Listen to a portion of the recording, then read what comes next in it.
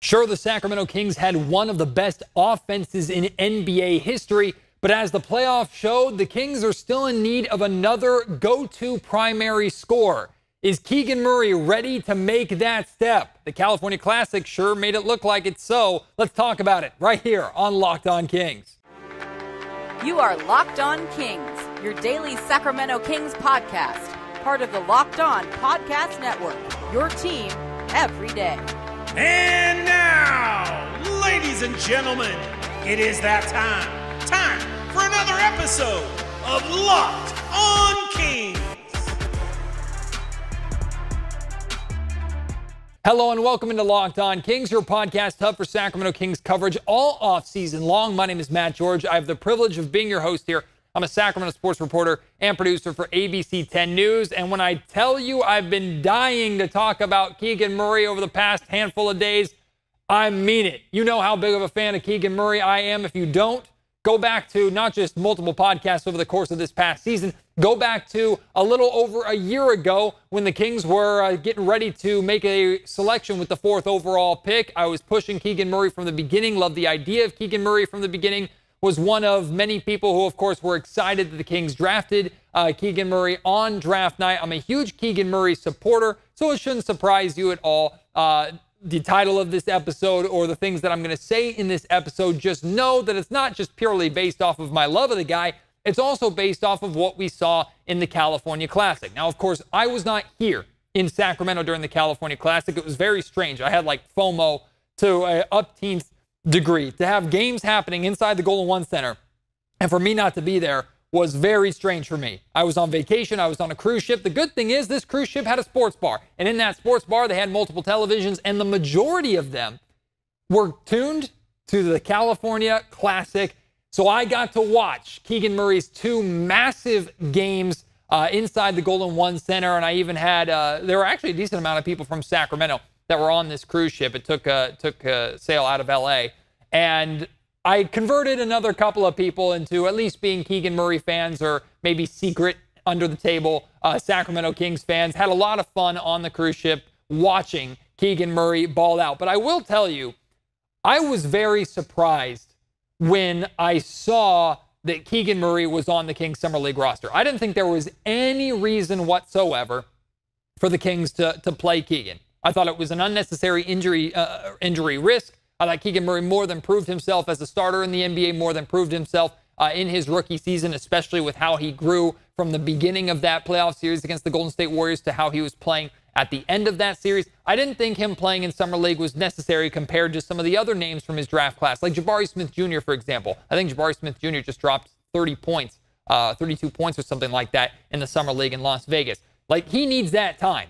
Keegan Murray doesn't really need that time. But I'm here to tell you that I'm wrong because I didn't think of the angle or I didn't think of the reasoning that was made very clear by the Sacramento Kings and by Keegan Murray in the mini training camp leading up to the California Classic and in the Cali Classic games themselves. Now, I'm very glad that Keegan Murray is not participating in Las Vegas Summer League. Again, there's no need to. What we saw in the two games in the California Classic is enough, and I'm going to get into those two games in just a second and his outstanding numbers uh, from both of those games.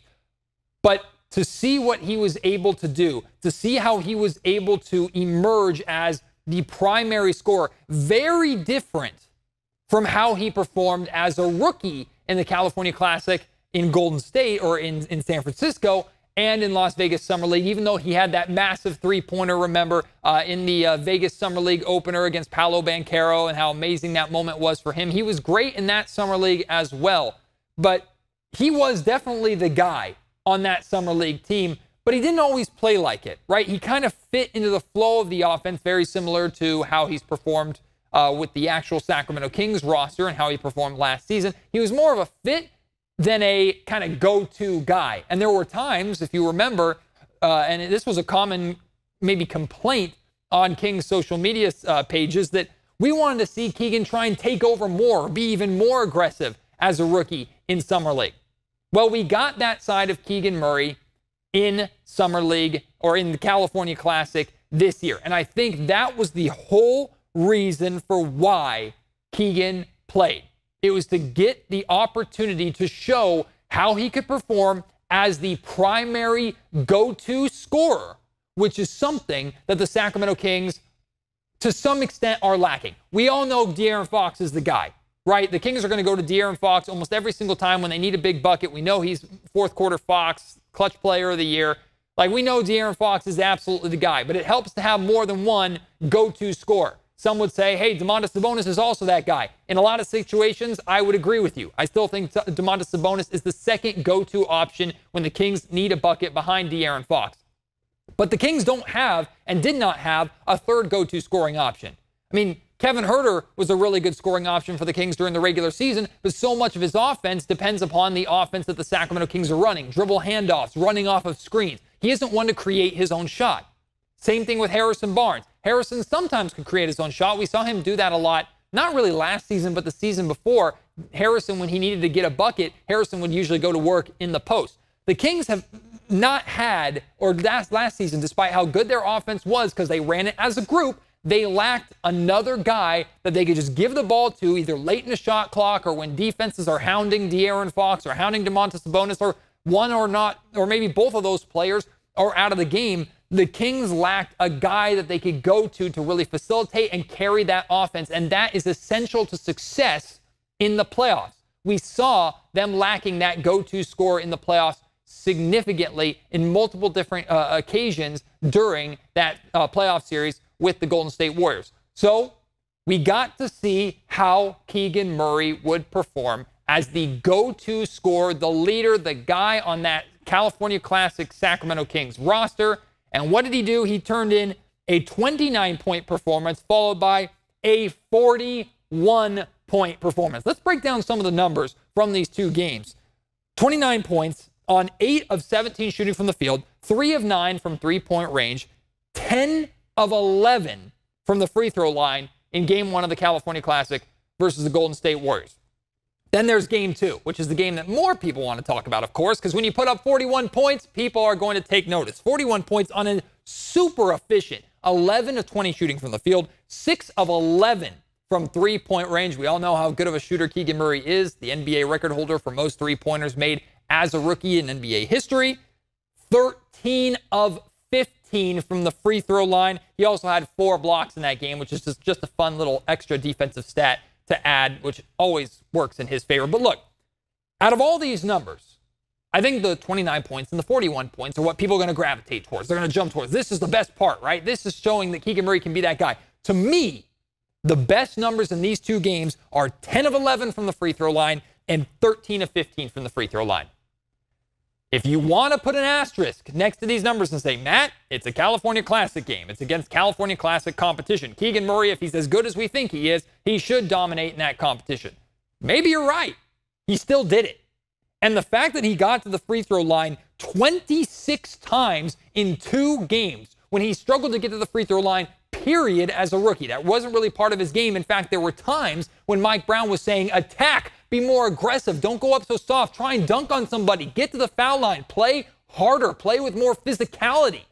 He was asking multiple players to do that, not just Keegan Murray, but Keegan was one of the main guys that Mike was asking that from. Here, Keegan Murray is going to the free throw line 26 times in two games and knocking down 23 of those free throws. I'm telling you, if Keegan Murray can consistently get to the foul line next season for the Sacramento Kings, we are going to have a lot more 29, 30 point games for Mr. Murray. We know how good he is on the perimeter. We know how good he can be putting the ball on the floor and creating his own shot. He showed that a lot in this California Classic as well. But his ability to attack the basket, finish around the rim, and specifically get to the foul line where he's a very good free throw shooter, that unlocks a whole nother level of Keegan Murray's game.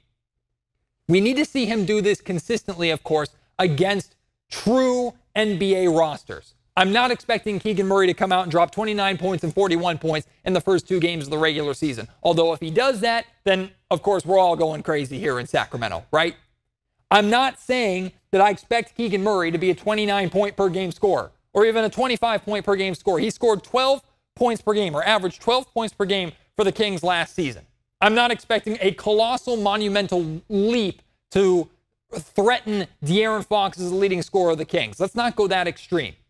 But to think that Harrison or uh, Keegan Murray could replace Harrison Barnes as a 15 point per game score, go even higher, go even beyond that. And let's just not project to next season. Let's project going forward. The Kings, and I've shared this with you, the Kings view Keegan Murray as a future All Star.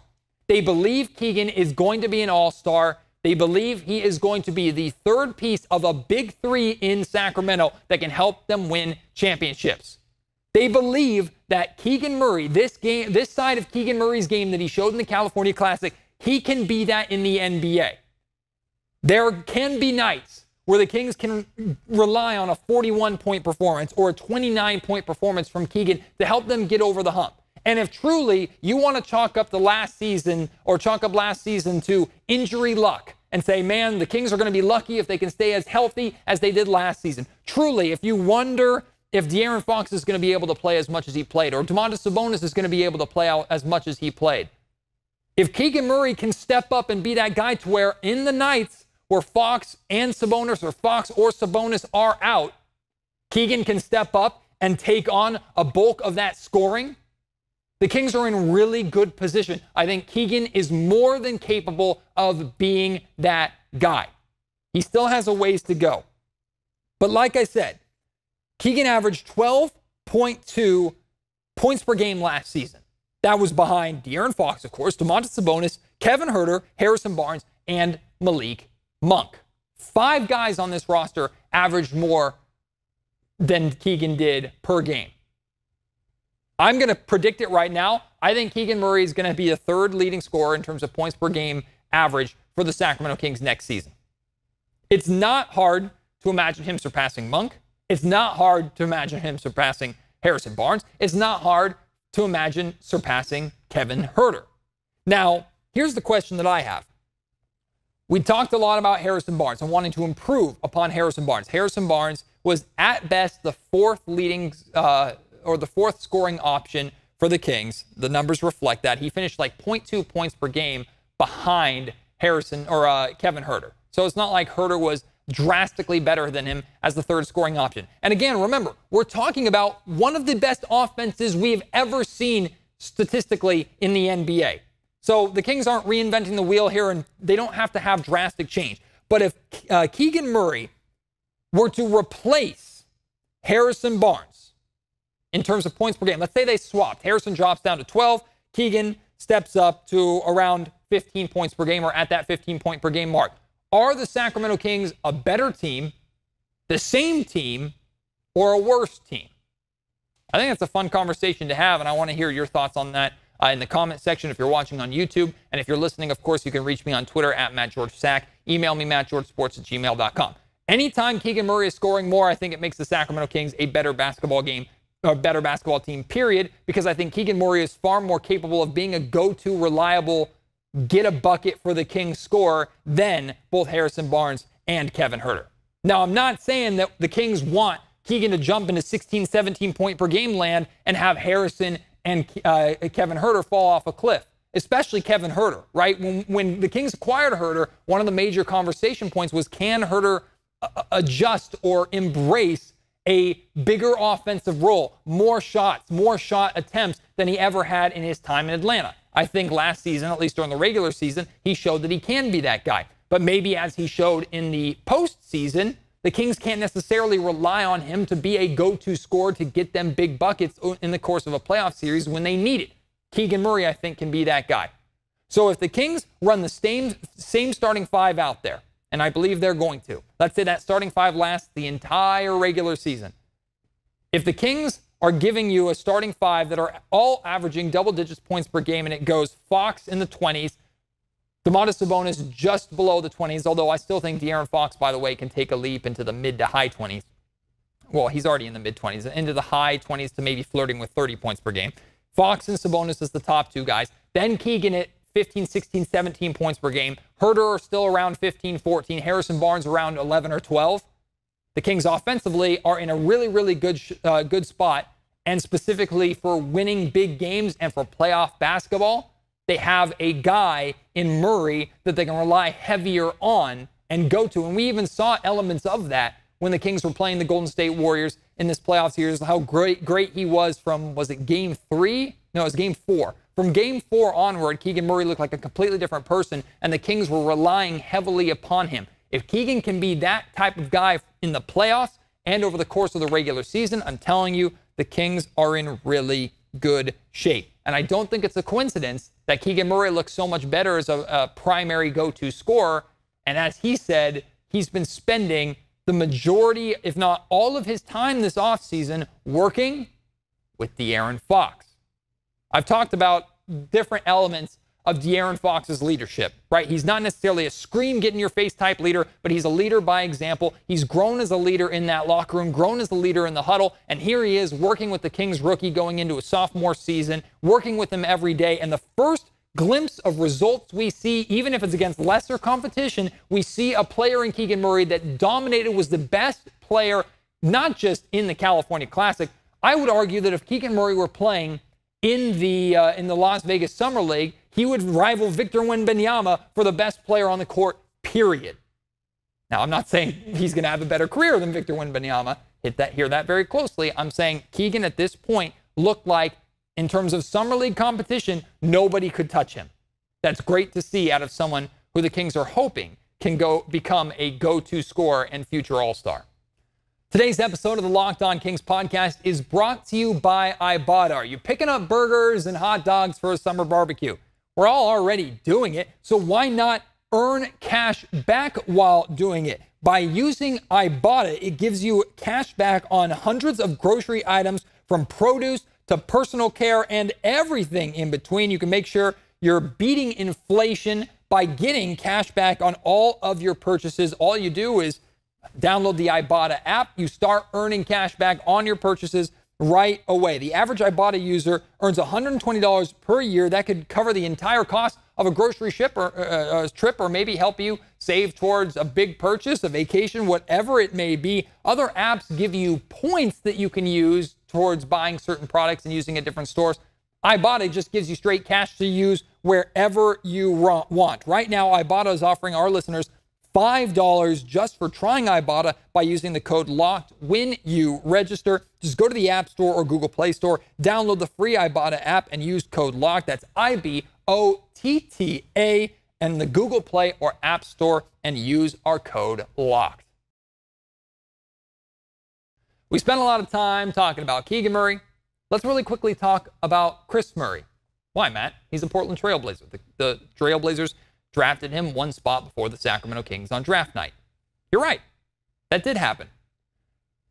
But if Kris Murray had made it past the Portland Trailblazers, if Kris Murray were there one pick later, would the Sacramento Kings have drafted him instead of making the trade they made with the Dallas Mavericks to open up cap space? Well, according to Brian Windhorst, who appeared on JJ Redick's podcast, The Old Man of the Three, Brian is reporting that the Sacramento Kings were planning on drafting Kris Murray and pairing him with his twin brother Keegan here in Sacramento. When the tra- when the Trailblazers decided the pick before to take Kris, that's when the Sacramento Kings pivoted and ultimately made that trade with the Dallas Mavericks.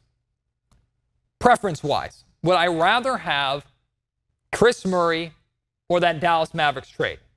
Of course, hindsight is a lot easier now that we know some of the results of the trade, but the Kings have used the money that they opened up, used, I should say, some of the money that they opened up in that deal by trading away Richaun Holmes and essentially Omax Prosper to the Dallas Mavericks. They've used some of that money to bring back Harrison Barnes, to bring back Trey Lyles, to play uh, or pay uh, Sasha Vezenkov, to pay Alex Len, and to extend the contract of Domantas Sabonis. So you tell me I have the chance to go back in time. I can do it all over again. Kris Murray is there. I can either pick the trade, knowing the result, or take Kris Murray and hope that the Kings still have enough money to make all of these moves that they've made. I'm picking the trade. Even though I love Kris Murray and it would have been so much fun to have the Murray twins here in Sacramento, I'm taking the trade. But what I want to talk about with this is, is simply if this is true, and I think there's a very solid there's a very good chance that this is true because I don't necessarily think that the Sacramento Kings planned going into draft night that their number one option was going to be to trade the pick away along with Richaun Holmes to open up cap space. Also, timing is incredibly important. Now, while it's rare to find teams making deals with other teams when it's well before their time making a selection, let's just say it, it, feeds into this narrative or feeds into this rumor that the Kings wanted Kris Murray and then had to pivot in another direction based off of the fact that after Kris was taken the pick before them while they were on the clock, they got this deal done. I cannot confirm or deny either side.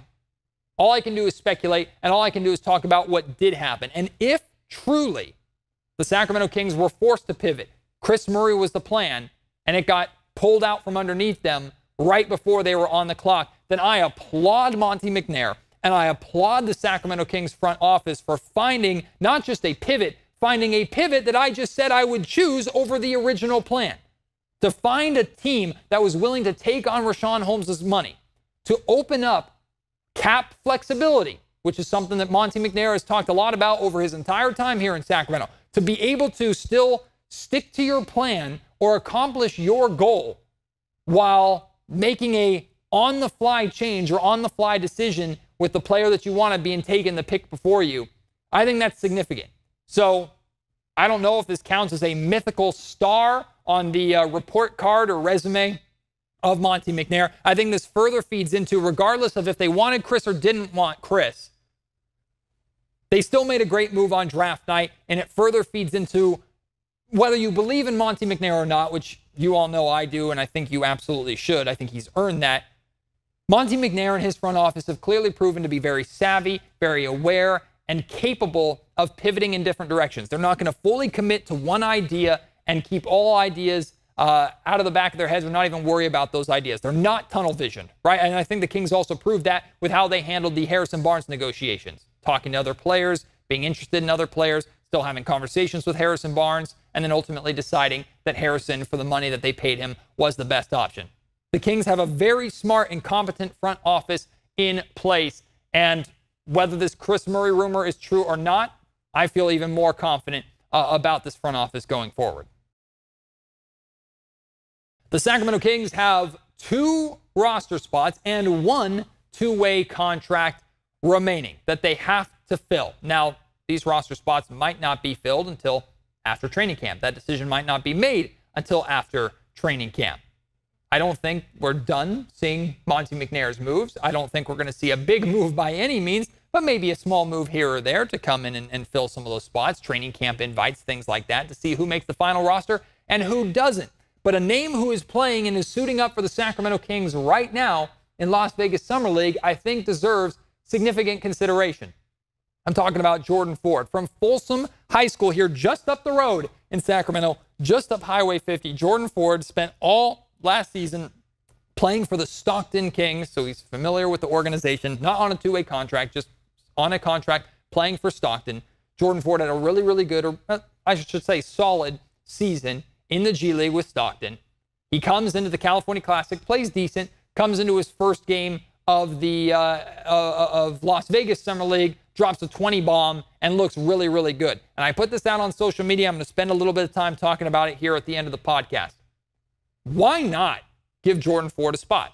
Now, I think it's more likely that if Jordan's given a contract, it's the final two way spot, and maybe that's the route that the Kings go, and that would be a great use of that new third two way spot. The other two spots going to Jalen Slawson and to uh, Keon Ellis at this point in time.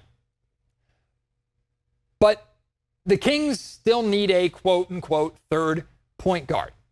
Maybe they don't necessarily need it, but it makes sense for them to still add depth at that position. However, whoever the Kings go out and get at that position, they know that they're going to be behind De'Aaron Fox, they're going to be behind Davion Mitchell, and they're going to be behind Malik Monk. So the Kings really already have their top three primary ball handlers on this roster right now. And I don't think there's going to be anybody that they're going to find that is going to take that position away. Unless there is a veteran like Matthew Dellavedova, who was at actually the, uh, or was with the Sacramento Kings, or some of the Kings players sitting courtside in Vegas watching Summer League, which I thought was pretty cool. He's going back to Australia to play professional basketball. At least those were the reports, and, and, and that was the news that broke earlier on this offseason. So I think Matthew Dellavedova's time with the Sacramento Kings is done. But If there is a veteran point guard that Mike Brown trusts that the Kings want to bring in to take that spot, by all means, go ahead and do that. But if there's not a veteran in place or a veteran name out there that, that Mike really wants or has a connection with or that would make sense for this Kings roster, why not give that third point guard spot to Jordan Ford, a local prospect playing for his hometown team? He's not going to get a whole lot of playing time. Again, there are already three guys on the depth chart that are above him, even though two of them, and Davion Mitchell and, and Malik Monk, are, mm, I guess, more known as two. Davion Mitchell's a one, but doesn't always play as a primary ball handler. Malik, Malik Monk is a two, but spent a lot of time last season for the Kings as a primary ball handler. Jordan Ford or whichever point guard the Kings bring in, that player is going to be behind the three of them.